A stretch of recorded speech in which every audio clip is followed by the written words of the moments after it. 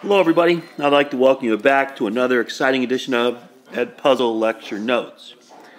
Today's objective What are the structures and the functions of the diencephalon? Diencephalon, which is comprised or made mostly of the thalamus and the hypothalamus. Definitely know the functions for the hypothalamus because if I had to bet, I'm smelling another short answer question on your exam. So this would be a frontal or coronal section of the brain. You can see the thalamus here and here, both the right and the left. Kind of look like a, you know, like a little orange piece of orange or a tangerine. And just below or inferior to that would be the hypothalamus, right there.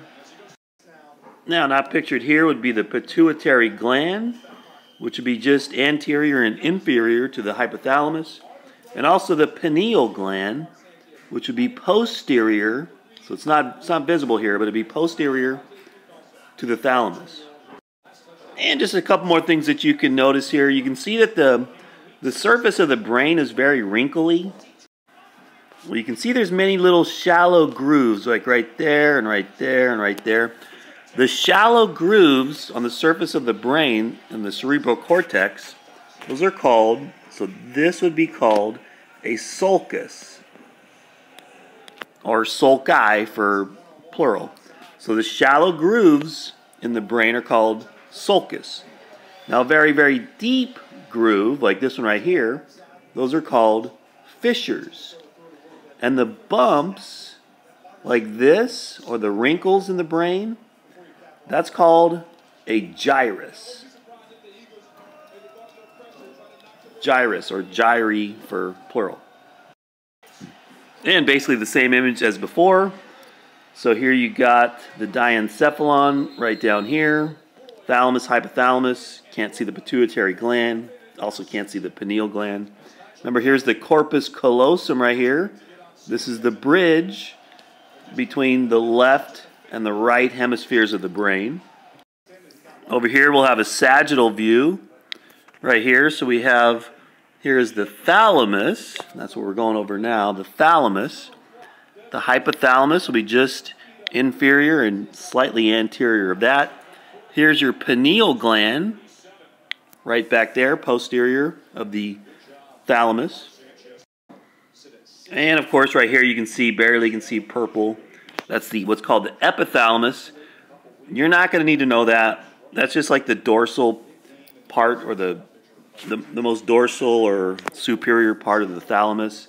Mainly, you need to know that because of the pineal gland, which is right there. And we'll go over its function here in a minute. And now that we see where the thalamus is located, just superior of the midbrain, just superior and posterior of the hypothalamus and the pituitary gland. Now that we know where it's at, what does it do? What is its function? What are its functions? Once again, this is writ written in red for a reason. This is the one you're most mostly going to need to know. It is a relay station for sensory information. So you got these ascending tracts, these afferent neurons, let me do a different color, that are coming in through the spinal cord and then through the brain stem they reach the thalamus, and the thalamus relays it to the correct part of what's called the somatosensory cortex, which is located in the parietal lobe of the brain right back here. So does the thalamus, so if, if the sensory information came from your hand, the thalamus would relay that to the precise location in the somatosensory cortex that corresponds to your hand. So each little section of this primary somatosensory cortex corresponds with a specific region of your body. So, like your hands have a very big part, and I can't remember where exactly the hand section is of the somatosensory cortex, but there'll be a little section of that cortex that is devoted strictly to the hand. Also, the lips have a very large part of the somatosensory cortex. Now, don't freak out if you don't understand that. We're going to go over the somatosensory cortex and also the primary motor cortex later on. And it does have some other functions, but like I said, this is the one you definitely want to have in your notes. Underline it, highlight it, whatever you do. It does have crude perception of things like pain, temperature, pressure, but a lot of areas of the brain do that. Does it have a role in maintaining consciousness, kind of like the RAS, the reticular activating system? It does play a role in cognition, which is acquiring knowledge, but once again, things like the hippocampus and the amygdala, those also do that. So the main thing you're going to need in your notes is this one right here. It's a relay station for sensory information. And here you have the thalamic nuclei. I'm not going to say much on this because you're not going to need to know it. But you can see all the different various roles that the uh, thalamus plays. But like I said, the most important one that you need to know, it is a relay station. It relays sensory information to this little region right here called the primary somatosensory cortex. And that's what allows you to feel the sensations around your body and the different nuclei of the hypothalamus. I'm not going to go over all of them because you're not going to need to know it. I am going to point out this. Remember, we didn't we did need to know cranial nerve number 10. That was in the previous Edpuzzle, and 10 was the vagus vagus nerve. Remember that had to do with uh, parasympathetic functions of your body, so slowing the heart rate, slowing the breathing rate, decreasing blood pressure, etc. The optic nerve, you probably can figure out what that is. That is what brings the sensory information from the eyes to the brain.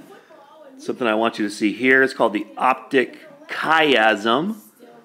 So this is where, if you remember, in the brainstem, the decussation of pyramids is where the sensory and motor information crossed. So remember, the right side of the brain would control the left side of the body, and the left side of the brain would control the right side of the body. Well, that same thing happens sort of here. This is where the visual stimuli crosses. And some of the visual stimuli from your left eye will cross over and go to the right side of your brain. And same thing with your right eye. So this is where the visual stimuli, so this is your eyes. Some of that stimuli crosses over to the opposite side of the brain, and some of it actually stays on the same ipsilateral side of the brain. So if these were your eyes right here, visual stimuli that's coming from your lateral field of view, so like out of the corner of your eye, would strike your retina right here, and that information would cross over and go to the right side of your brain, the opposite side, where the information that's in your medial field of view that's coming like from the inside, like towards your nose, that'll strike your retina here, and that information will actually stay on the same side of your brain, the left side.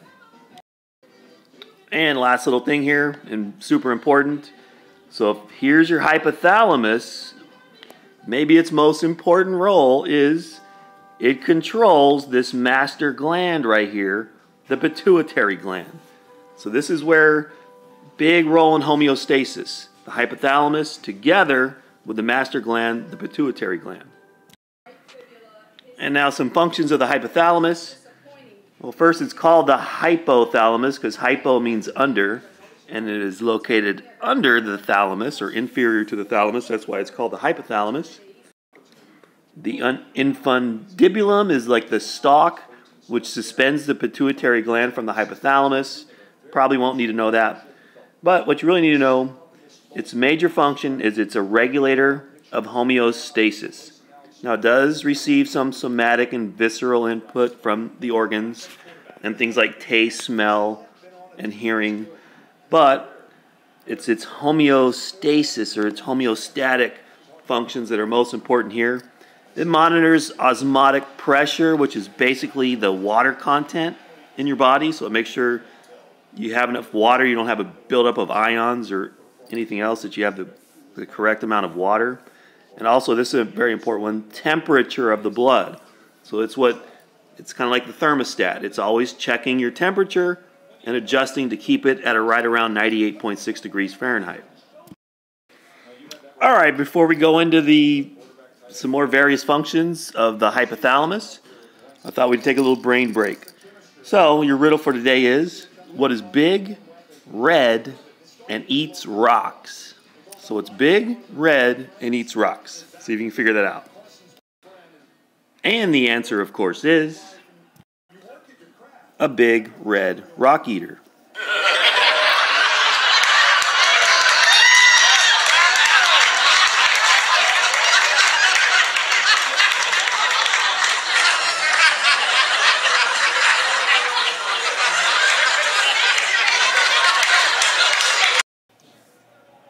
Right, hopefully that riddle kind of woke you up because even if you've been sleeping through the first, what, seven slides or so, this is what's most important. I guarantee you, oh, I can almost guarantee you this will become a written question. Hey, give us, it's probably going to say, what are five functions of the hypothalamus? All right, we're going to give you six. It controls and integrates activities of the autonomic nervous system. So remember, that was the sympathetic and parasympathetic nervous system. So it regulates smooth and cardiac muscle and, and glands, which help to regulate your heart rate. So it'll speed it up. The sympathetic nervous system, the fight or flight, food movement through your digestive system, bladder contraction. So it controls and integrates activities of the autonomic nervous system. There's another big one. It controls the master gland, the pituitary gland. It is this control of the pituitary gland which probably gives the hypothalamus its most important function because through the hormones released by the pituitary gland, which can stimu stimulate other glands, you get things like growth.